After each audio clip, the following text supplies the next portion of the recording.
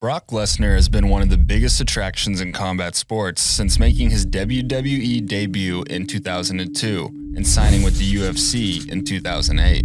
A spectacle of pure mass and athleticism, Brock's sheer size mixed with his ability to move like a lightweight captivated audiences, and Brock was able to match this theatrically to create a persona the masses could grip onto. I'm coming for you, motherfucker! His larger than life presence, Brock would become one of the highest paid athletes in WWE and UFC history. However, none of this would have been possible if not for the hardships endured before fame and money, as it was Brock's pursuit of an NCAA D1 wrestling title that allowed him to leverage his likeness into post collegiate superstardom. Follow along as we break down Brock's story, going from a small town kid on a farm in South Dakota to one of the highest paid heavyweight combat athletes of all time. Brock Lesnar was born and raised in Webster, South Dakota on his parents' dairy farm farm. Growing up in a small farm town, most kids in Webster couldn't even participate in sports as they had to work on their family farm instead. Brock's family was also not well off, and in fact, Brock's reiterated many times that his family was dirt poor. However, Brock's parents sacrificed their time and money so their kids could participate in sports. And starting at age 5, Brock began wrestling. Brock's mother would drive him all over the tri-state of South Dakota, North Dakota, and Minnesota for competitions. And it didn't take long for wrestling to become Brock's main outlet in life. Brock's parents would instill in him that he was supposed to win, and it was expected. When he lost, he simply had to remember that feeling of losing and to just go win the next one if he didn't want to feel that way again. It was tough love, but Brock attributes this to what formed his mindset when it came to competition. Outside of wrestling, the only life Brock knew was the dairy farm. But even at a young age, Brock was certain he had much bigger dreams than the Lesnar acreage. Brock's first attempt at leaving the farmstead came when he joined the National Guard after his junior year of high school. Inevitably, Brock would be discharged from the military due to having partial color blindness. However, according to Brock, the training he underwent for the National Guard was a pivotal moment in his life. Brock has two older brothers and has been on the record stating that in Webster, the Lesnar brothers were known as fighters, often getting into scuffles around town. Reflecting on his time at the National Guard, Brock said, The National Guard changed my life. I was 17 years old. I was Mr. Know It All, and I didn't respect myself or authority. Then I entered the Guard. Those straightened my ass out right away. After coming back from the National Guard with a new perspective, Brock would lock in for his final year of high school. One of the things that needs addressed is the progression of Brock's size and athletic ability through these years. The most glaring attribute of Brock Lesnar is that he is an absolute unit. Brock Lesnar is a 6'3, 275 pound mountain of anger the alpha male of our species, Brock Lesnar. Damn, those guys are big. Yeah, Look at the bring card girl. That she was so young. Which one was that? Gorilla. He was a gorilla, son. Jesus. Today he stands at 6'3 and weighs somewhere around 285 pounds. The evolution to this monster was not complete even by his senior year of high school, but it laid the groundwork that would make him become one of the most dangerous heavyweights of all time. In 7th grade, Brock wrestled at 103 pounds. By his freshman year of high school, he wrestled at 152 pounds. His junior year, he wrestled 189 pounds, and by his senior season, he made for a light heavyweight, weighing 210 pounds in the 285 pound weight class. Brock claims this huge swing in weight was an advantage for his wrestling at heavyweight. If he had always been bigger, he would have probably skated by on strength and size alone, and not developed technically. According to Lesnar, though, spending those years wrestling lighter weights made his style of wrestling more active and dynamic, giving him a level of athleticism that was extremely hard to match for most heavyweights, and would captivate those witnessing. Boom, boom, and ah, ah. And people were literally like, you could hear them kind of in an uproar, and I looked Regardless, after finishing third at the South Dakota State Tournament his junior year, Lesnar would end his senior year finishing third once again. With D1 college coaches not exactly busting down doors for a South Dakota kid who finished third, Brock would take his talents to Bismarck State College, where he would compete in the National Junior College Athletic Association. In his freshman year at the Junior College National Tournament, Brock would have another pivotal moment in his life. In the quarterfinals, he would lose to a wrestler that, according to Brock, was a pudgy no name. Brock would go on to finish fifth, but that specific loss to that specific fat kid shook Brock to his core. After that loss, Brock vowed to become the biggest and baddest version of himself he could be. And as he puts it in his book, just start crushing these He'd return to Webster for the summer, where every day he would work as a laborer for a local power company, and after he would hit the weight room with a couple of his friends. He trained relentlessly that summer and would go from 226 pounds to 258 pounds, and was still flexible and fast. After that summer, Lesnar claimed he truly believed he could do anything he wanted in life. Brock Lesnar was nearing final form, and his sophomore year would be when a lot of people would take notice of him. At the Bison Open, an early season tournament that is typically D1 wrestlers, Lesnar would roll through the heavyweight bracket, and that would be when J Robinson and the Minnesota Gophers wrestling staff would notice Lesnar. Brock would be flown out to Minneapolis for a visit immediately, and he knew right away once he got to the city,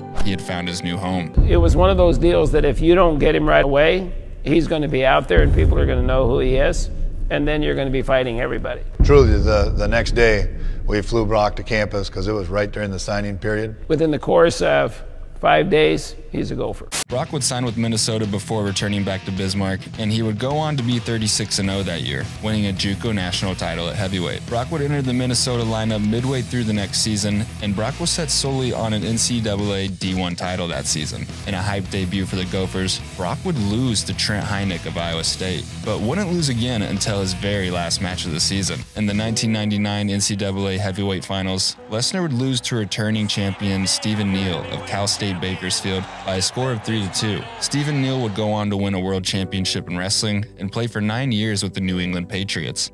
Lesnar's loss to Neal would haunt him, and once again, Brock was motivated to never feel like that again. In his senior year, Brock Lesnar was truly now the poster boy for the Minnesota Gophers. Brock brought intrigue alone just by being a specimen on the mat, but he truly became a showman for the Gopher faithful. Lesnar was not afraid to be brash and knew how to play into the crowd when he went out and wrestled. Lesnar would speak his mind candidly for the media, and after, people would want to come and see him in person. Ultimately, though, he was focused on a national title, and at the end of the season would enter a legendary saga with Iowa's Wes Hand. Wes would strike first when he would beat Lesnar in the Minnesota Iowa duel at the end of the season. Lesnar would respond by beating him at the Big Ten Championships weeks later. Finally, they would meet for a third time in the national finals. The match would go into double OT, and with Lesnar on bottom, all he had to do was escape to win. With 14 seconds left, Lesnar would sit out and get the escape to win his D1 NCAA title. After a lifetime of sacrifice, Lesnar had accomplished his greatest goal of being a D1 national champion.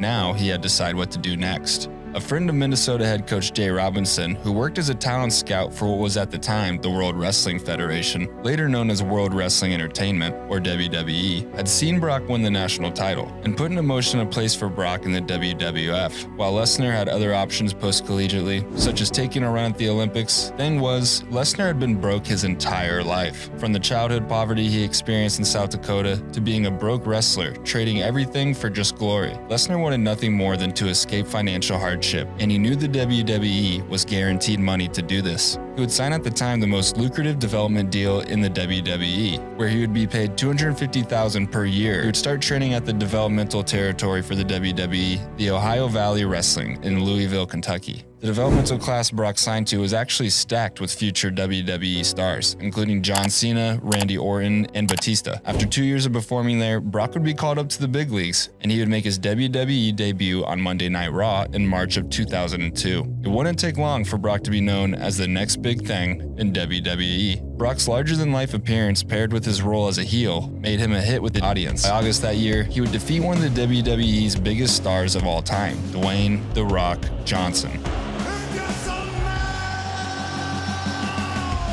to become the youngest undisputed WWE champion in history. Brock was skyrocketed to the top of WWE, taking down any other big names that year, such as the Hardy Brothers and The Undertaker. Preparing for the long haul, Brock would sign a new contract with the WWE in 2003 with a million dollar a year guarantee, putting him at the top of the pay scale for the WWE. Brock was now the highest paid WWE wrestler, but just as quick as he came into the promotion, he would leave it. While the money may be good, the lifestyle of a WWE superstar is incredibly hard. What kind of injuries did you have? I've torn both of my knees up, severe back pain, ribs, neck issues. With constant travel, Brock was quickly feeling burnt out. Along with the demanding travel schedule, the stunts performed by wrestlers wear on the body fast, and it's not uncommon to see wrestlers turn to substances to escape the pain. This was the path Brock was going down, with an alcohol and Vicodin addiction forming, and he knew he had to get out before the lifestyle consumed him. A year after becoming the highest paid WWE wrestler, he would quit. Now in limbo, Brock wanted to use his fresh start to get back into actual competition rather than entertainment. I see Brock Lesnar out there. Been a, a heck of a deal for him. You know, professional wrestler, national wrestling champion at University of Minnesota, local hero. For his next move, Brock would give the NFL a shot. Lesnar would try out for the Minnesota Vikings, and he would get invited to their training camp. Lesnar only played football his senior year of high school, but what he lacked in skill, he made up for physically. Lesnar would end up playing in multiple preseason games with the Vikings, but would end up being the last player cut on the roster. Brock would go back to searching for his next move.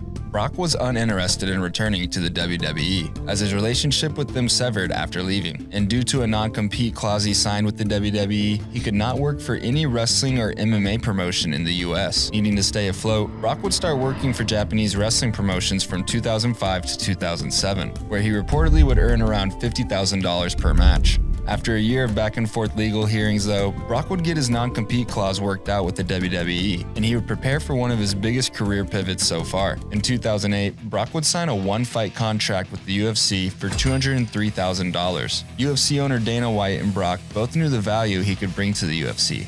With his WWE fan base behind him and the MMA fan base wanting to see if an entertainer could hang with real fighters, Brock would bring a ton of eyes with him. Brock would lose his UFC debut shockingly to Frank Mir, but Lesnar's involvement in the promotion was successful, and he would stay on it for more fights. By his third UFC fight, Brock would defeat Randy Couture to become the heavyweight champion of the UFC. Brock Lesnar could not only hang with real fighters, he could obliterate them. With the Lesnar UFC era in full effect, he would defend his UFC title twice and would have a total of seven fights before retiring from the UFC for the first time. Over those seven fights, Lesnar would receive around $2.3 million in just purse payouts from the UFC, but it's rumored that with sponsorships and pay-per-view payouts, he would earn around 3.5 million per fight. However, he still wouldn't receive his biggest UFC check until years later. Towards the end of his first UFC stint, Lesnar's health would repeatedly hinder the rollout of his fights. And at one point, Lesnar would find himself in the hospital fighting for his life. In 2009, it would be discovered that Lesnar had diverticulitis, a disease of the digestive tract that causes pouches to form on the colon. By the time Lesnar was diagnosed, the disease had gotten so advanced his colon was leaking matter into his abdominal cavity, and his immune system was depleted from attempting to fight this leakage it thought was an infection. Brock would need surgery immediately to close up his intestine. In 2011, Brock would have another rough bout with diverticulitis and would once again go under surgery. Brock would recover and make a comeback to the UFC, but he likely knew the risk was no longer worth the reward. One bad hit to the gut and he could easily be facing another major health crisis. After losing to Alistair Overeem, Brock would announce he was retiring from mixed martial arts. Quickly after retiring from the UFC, whispers of Lesnar's return to the WWE began circulating. Sure enough, after eight years away from WWE, Brock would return in April of 2012, hitting his signature F5 on John Cena to an eruption from the audience. Why Brock chose to return to WWE after shunning them almost a decade earlier is easy to answer money. Upon returning, the WWE would sign him to a one year deal worth $5 million, more than all his UFC purses combined. The WWE knew Brock was an extreme asset to them and didn't want to lose him to scheduling like they had before. So, along with this insane payout, he was only required to do three pay per view events within that year. His body was no longer being sacrificed the way it was in UFC, he was making unbelievable money and only had to work part time. Brock was finally living life fully on his terms. Brock was a made man by this point and really had nothing else to prove.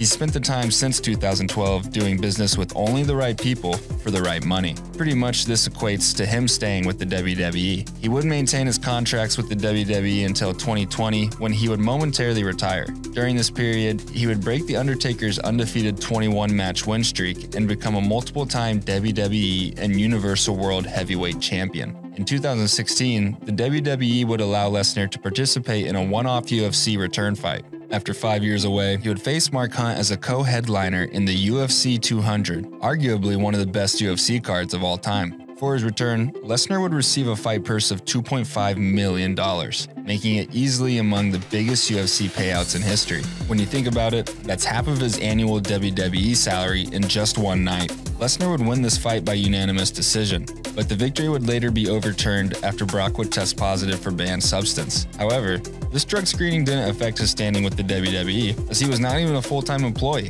and since this incident, he has remained solely in the WWE. Upon returning to WWE in 2021 after an extremely brief retirement in 2020, Brock now sported a new look in the ring that was more reflective of his current state in life. The next big thing was now Cowboy Brock. With the beard and long hair, paired with the cowboy hat and boots, Brock no longer had to play the heel persona and was now a face for the WWE. This fit perfectly for Brock, who had been on a wild ride his entire career and now in his mid 40s was in a much more peaceful space as a husband and father. Brock is still currently honoring what is said to be his final WWE contract, and it looks like he may really be riding off into the sunset this time. Brock is still completing side missions, such as when he served as an honorary coach for the Minnesota Gophers wrestling team at a duel in 2020 to commemorate the 20th anniversary of his heavyweight NCAA title. Brock lives an extremely private life, splitting time between residences in Minnesota and Saskatchewan, Canada. Brock has gone back to his roots, devoting most of his time to hunting and farming on his ranch in Canada, just as he did as a boy in Webster, South Dakota, but this time by choice.